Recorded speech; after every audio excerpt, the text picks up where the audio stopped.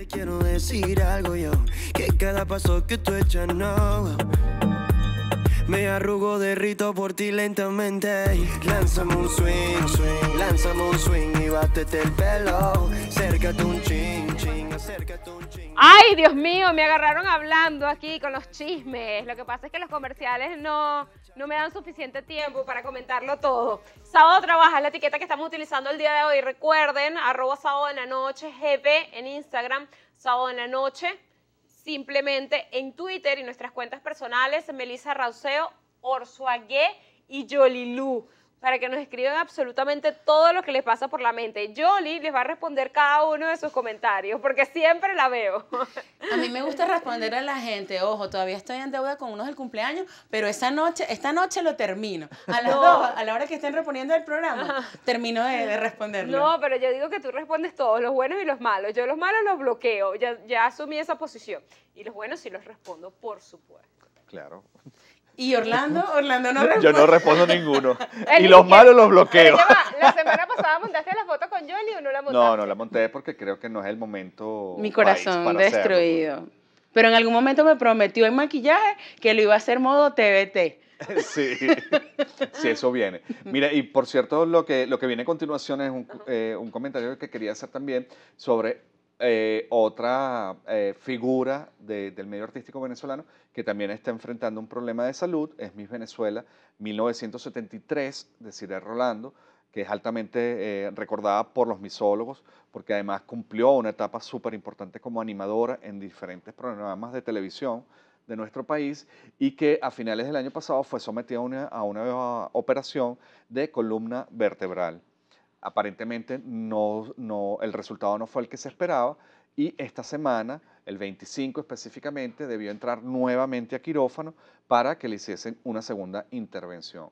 Lo cierto es que después eh, su hija, una de sus hijas, Sanelia, se comunicó con, con algunos allegados eh, a, la reina para decir que, bueno, que todo había salido muy bien, que se estaba recuperando chévere en el Centro Médico Docente de la Trinidad, pero el, el- el jueves la propia de Ciria Rolando, a través de su cuenta en Twitter, ella es sumamente activa, este, yo, la sigo y de, de hecho constantemente está haciendo reflexiones y comentarios sobre lo que sucede en el país, pero bueno, ahorita con este episodio de salud, el jueves se comunicó con sus seguidores para que colaboraran con ella, ya que eh, necesita, o hasta ese momento necesitaba, 24 donantes de sangre de tipo ORH positivo. La única solicitud era que, bueno, que se trasladaran al Centro Médico Docente La Trinidad para tratar de, de col- colaborar con esto, que a mí particularmente me llamó muchísimo la atención porque dije, ¿por qué 24 donantes si además se supone que todo salió bien? Entonces me resulta llamativo, pero bueno, se- supongo que serán requerimientos que, que- que la clínica hace para subsanar las deficiencias que pueda tener en su banco de sangre. ¿no? Oye, eh, lo lamento muchísimo. Le envío mis mejores deseos, sobre todo porque sé lo que es pasar por una operación de columna. Dos veces fui operada de la columna cervical y, bueno, no solamente entrar al quirófano con mucho miedo, sino que el proceso de recuperación es algo muy, muy delicado. Entonces, eh, esperamos que, que, que se recupere, que haga su rehabilitación y que quede completamente bien de esta cirugía. Por También tenemos por sí. allí información de Masterchef latino. ¿Quién me la va a brindar? Bueno, están preparando la nueva edición de Masterchef Latino. Vale la pena recordar que eh, en la anterior oportunidad lo, ganó Cindy Lazo, la venezolana hija de Mimi Lazo, y que ahorita, bueno, están esos preparativos full.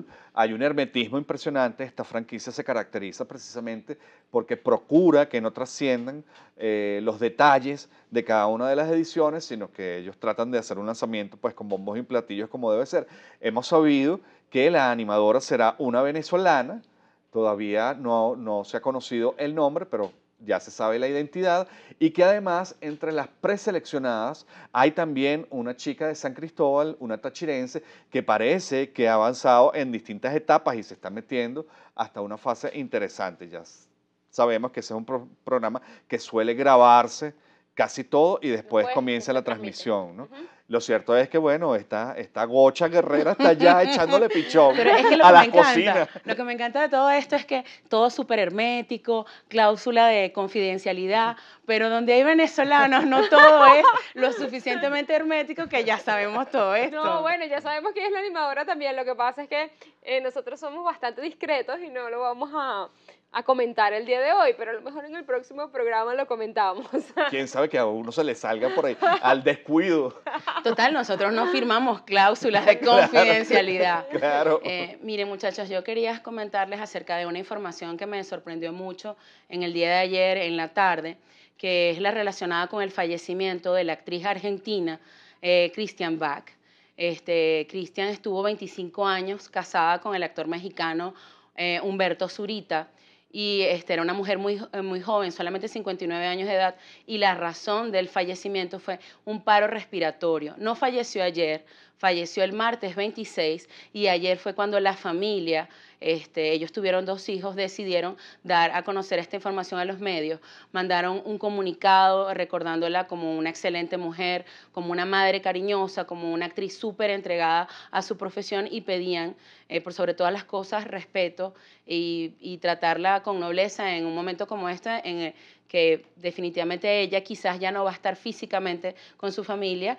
Y también me llama mucho la atención porque casualmente Televen está ahorita repitiendo La Patrona. Ella actuó en esa producción dramática que se grabó en, 2000, eh, se grabó en 2013 con Araceli Arámbula. Entonces está como muy presente de alguna forma para, para los televidentes venezolanos. Sí, pero es que además desde siempre, Yoli, porque en la época en que las programaciones de las televisoras nacionales se nutrían eh, de, muchos eh, productos mexicanos, los televidentes tuvimos la oportunidad de ver muchas producciones en las que trabajaron tanto ella como su esposo. Es una cara realmente conocida para el público de los 80, de los 90. Y además quería agregar que si bien la causa de la muerte fue un paro respiratorio, ella había enfrentado algunos problemas de salud con anterioridad, se había recuperado, pero sin embargo venían las recaídas. Entonces, lo que me pareció totalmente loable por parte de la familia es que no olvidaran que ella fue una primera actriz que el público le dispensaba muchísimo cariño y además de, tomarse los días de duelo que correspondían, tuviesen el detallazo de emitir un comunicado para informar lo que había sucedido. ¿no? Entonces me parece que es una muestra de una madurez, sabiendo además que es difícil en un momento como ese tratar de usar la cabeza, pero bueno, toca cumplir también con un público que estaba expectante. Sí. Eh, tenemos que ir a una breve pausa comercial. Al regreso tenemos más chismes para todos ustedes, pero ya está Gaby aquí, al pie del cañón, como si fuese Leo. Aprendió, aprendió de Leo Aprendió. y baja al No, estudio. po- Porque nos quitan uno, pero nos dejan la otra. Ay, no, mentira, no es que no nos quitaron. Lo que le faltaba regresa- tuquear los brazos.